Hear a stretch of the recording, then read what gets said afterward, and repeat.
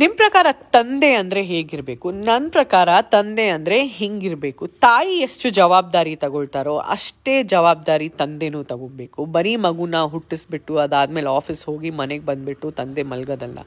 ಈ ಕಾಲದಲ್ಲಿ ಪ್ರತಿಯೊಬ್ಬರು ಪ್ರತಿ ಪೇರೆಂಟ್ಸ್ ಬಾಯ್ಸ್ ಇರ್ಬೋದು ಗರ್ಲ್ಸ್ ಇರ್ಬೋದು ಈಕ್ವಲ್ ಆಗಿ ಜವಾಬ್ದಾರಿ ತಗೊಳ್ತಾರೆ. ಮಗುನ ಅಷ್ಟೇ ಮುದ್ದು ಮಾಡ್ತಾರೆ ಮಗುಗಷ್ಟೇ ಟೈಮ್ ಕೊಡ್ತಾರೆ.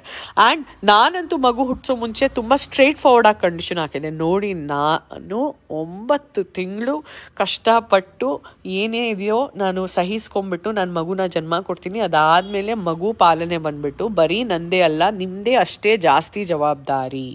ರಾತ್ರಿ ಮಗು ಎದ್ರೆ ಬರೀ ನಾನು ಎದುಳ್ಬಾರ್ದು, ನೀವು ಎದ್ದು ನೋಡ್ಕೊಬೇಕು. ಅದಕ್ಕೆ ನನ್ನ ಗಂಡ ಒಪ್ಕೊಂಡ್ಬಿಟ್ಟು ಎಷ್ಟು ಪ್ರೀತಿಯಾಗಿ ಅವ್ರ ಕರ್ತವ್ಯ ನಿಭಾಯಿಸ್ತಾ ಇದ್ದಾರೆ ನೋಡಿ, ಎಷ್ಟು ಪ್ರೀತಿಯಾಗಿ ನನ್ನ ಮಗನ ಉಗ್ರೆಲ್ಲ ಕತ್ತರಿಸ್ತಾ ಇದ್ದಾರೆ ನೋಡಿ.